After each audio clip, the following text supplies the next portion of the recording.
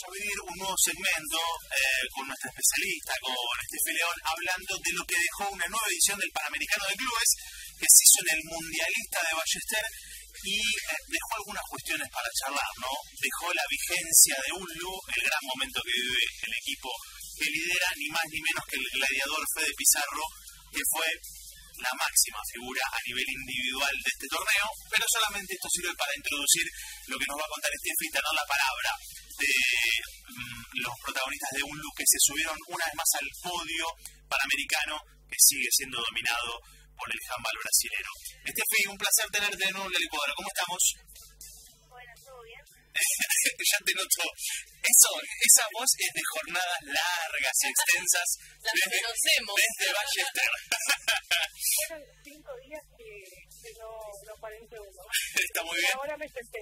Recién ahora se sentó eh, un gran, bueno, lo, lo vuelvo a decir, ¿no? lo, lo venimos diciendo, pero un gran trabajo de Dar Handball en la cobertura. Creo que pone en valor un poco lo que es eh, el- el- la importancia que ha tenido este Panamericano de clubes para el handball argentino. Estefi, felicitaciones primero para vos y por supuesto hacer extensivo a todos los chicos de, de, de DAG, porque la verdad han hecho un laburo fantástico, fantástico en la cobertura de, de cada una de las jornadas y como decía recién, ¿no?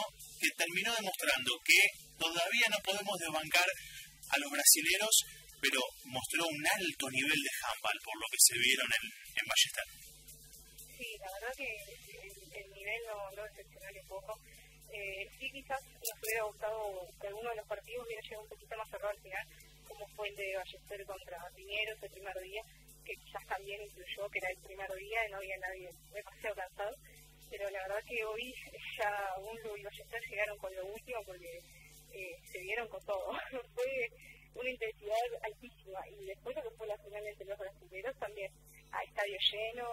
Eh, la verdad que una locura todo. el contexto, el handball, la gente. Eh, fue, fue algo, la verdad que creo que superó las expectativas de todos, más allá de lo del resultado deportivo. Claro, y está buenísimo que tengamos eh, el handball de este nivel en la Argentina y que podamos tener también a nuestros eh, representantes del handball nacional en este nivel, ¿no? Estefi, la verdad que más allá de que no pudieron pelear el, primer puesto y poder lograr el título para ir a, a Qatar, eh, el trabajo que hizo Unlu y que también hizo Sac de Ballester fue, la verdad, que para destacar. Mira, lo, lo de Ballester es un capítulo aparte porque eh, lo juegan hace años y fue panamericano. Eh, cuando parecía que lo agarraba el equipo en un, en un bajón, eh, sacaron fuerza, andás a ver de dónde, y, y los más chiquitos se pusieron la camiseta y le, eh, le pusieron la, la cara contra los brasileños, contra los chilenos, contra el que se cruzan frente. Y mirá, si hablamos de los chiquitos, también del otro lado, que con esta cogote, a Andrés José, que ayer fue el goleador del equipo, como para que te des una idea, ¿no es cierto? Increíble. Eh, entonces lo, lo de Ballester para, para aplaudir. Lo de Unlu, eh, quizás llegó con Fede Fernández un poquito tocado, eh, con un pizarro, pero increíble en otro nivel. Eh, Juan Van, el arquero, fue una locura lo, lo que sacó ayer, sobre todo, se caía el estadio que le agarró una pelota. Y, y quizás le faltó, sí, esos momentos clave en lo que la concentración te puede fallar. Y ahí fue donde cerró un look y aprovecharon los brasileños. Claro. Pero la verdad que no, no, no, no se guardaron nada y con eso eh, más, digo, más de lo que dieron no, no les podemos pedir, la verdad que no. No, eh, dejaron todo, Ulu dejó todo y mm, quiero que presentes lo que es eh, lo que son los testimonios para que la gente los pueda ver y escuchar a través de licuadoradeportiva.com.ar barra en vivo de justamente Ulu que volvió a, a quedarse con el podio panamericano. Antes hacemos un repaso, Sí. el campeón fue Piñeiro y le sacó un...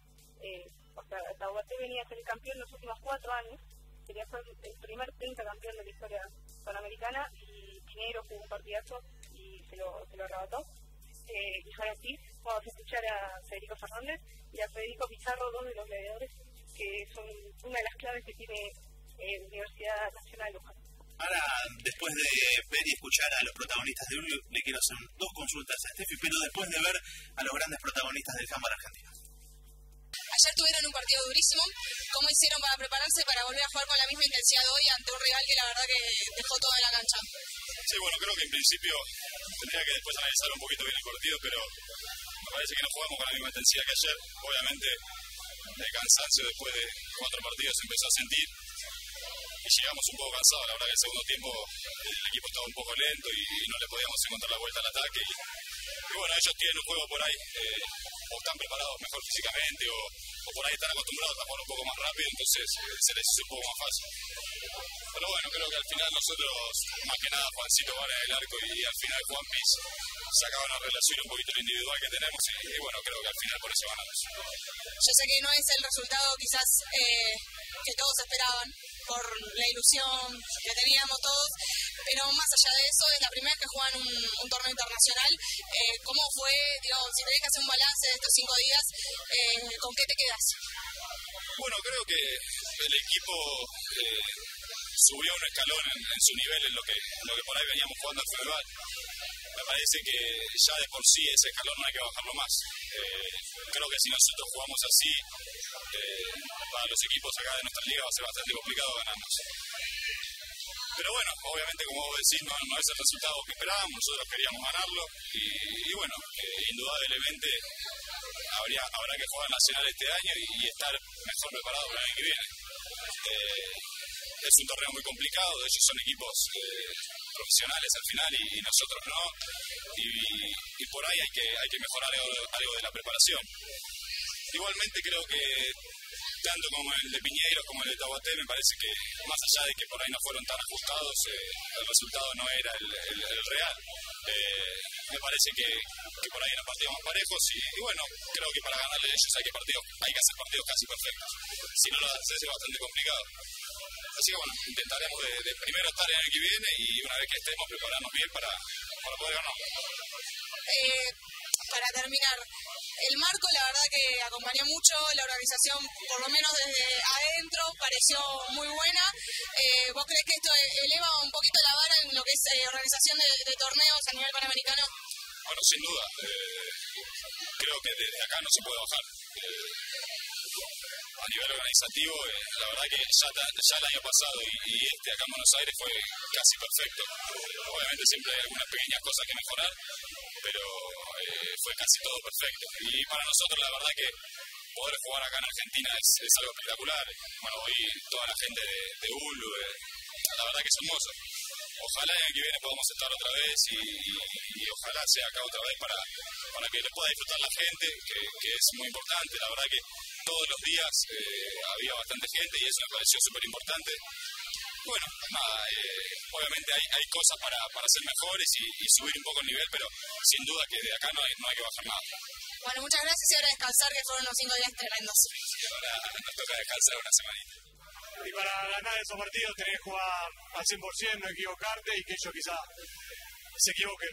Eh, creo que el primer tiempo lo hicimos muy bien, eh, perdimos un par de pelotas, pero en defensa respondimos bien y ya después del segundo ellos estuvieron un poco mejor en defensa y nosotros ya los partidos que jugamos antes fueron exigentes, el de ayer y fue tarde, también nos hizo pasar quizá una, una mala jugada y eso hace que, te vayas desgastando hasta que te parte el partido. Tenemos un nacional eh, dentro de poco y tenemos que, volver a ganarlo, volver a clasificar un panamericano para, seguir jugando partidos así, que es lo que te da el roce para, para poder terminar ganándolos. Jugar en un, estadio como el de Ballester, que, es mítico para como el argentino y con tanta gente, siempre a uno le, saca un plus y, tanto ayer como, como hoy la gente eh, estuvo 10 puntos. Ahí escuchábamos la palabra primero de Fede Fernández y después de Fede Pizarro, los Federicos de Ullu, que sin duda tuvieron una gran participación. Steffi, em, qué tremendo, ¿no? Que, a Fede Pizarro lo hayan elegido el mejor jugador de América, porque finalmente lo eligieron como el más valioso de este torneo y, ese es el título que se termina llevando, ¿no? Sí, ni más ni menos. Lo, lo quiso Fede en momentos donde el equipo, la verdad, que se atascaba en ataque porque la gente de Santa Silvia son durísimas y uno generalmente ataca por el medio y eh, la verdad que es muy difícil pasar por ahí. Fede se cargó el equipo al hombro sacando lanzamiento que que no sabes la verdad.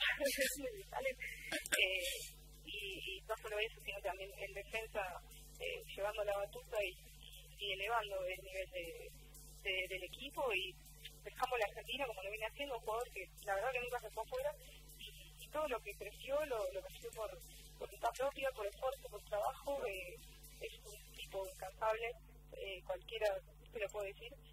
Eh, la verdad que lo tiene más que merecido. Si bien hubo muchos puntos en el de Santos, lo de Pizarro es él nos decía Guido Ricobelli, se, se puso acá para superhéroe y, no sabemos cómo hace, pero sale volando. muy bien, muy bien Ricobelli, graficando a su compañero en, en Ulu. Estefi, eh, para cerrar ya, va a quedar chico el mundialista para la garra, ¿no? Que hoy está pensando exactamente. va a quedar chico. sí, sí, sí, mira, para que te des una idea, primero... Eh, de prensa era la mitad de una tribuna sí. eh, y hoy terminamos encerraditos en el medio sí. eh, por, porque tuvieron que dejar entrar gente a, la, a esa tribuna. Claro. Y yo estaba pensando lo mismo, o sea, está bien que un Ballester lleva su banda. No, pero va a ser tremendo. Pero, pero las chicas están moviendo mucha, mucha gente. Y para mí había chicos, pero bueno, eh, está bien, entraremos, haremos lugar, entraremos todos como podamos y vamos a alentar con todas las chicas a ver si se nos da el título continental acá en casa. Lo que es seguro es que vamos a seguir viendo buen handball, quedan 21 días me parece, eh, y la verdad es una alegría para, para todo el mundo el handball poder tener estos eventos acá y también organizados. Estefi, tremendo laburo para dar handball, gracias por estar siempre con, con la licuadora y, y, ya vamos a estar pronto viendo nuevamente handball y viendo a la garra que como bien decías es una de las grandes esperanzas, por lo menos para mí lo vengo diciendo, muchas esperanzas puestas en la selección que dirige Peluchera rumbo a Tokio 2020. Te mando un beso grande, a descansar y seguimos en contacto.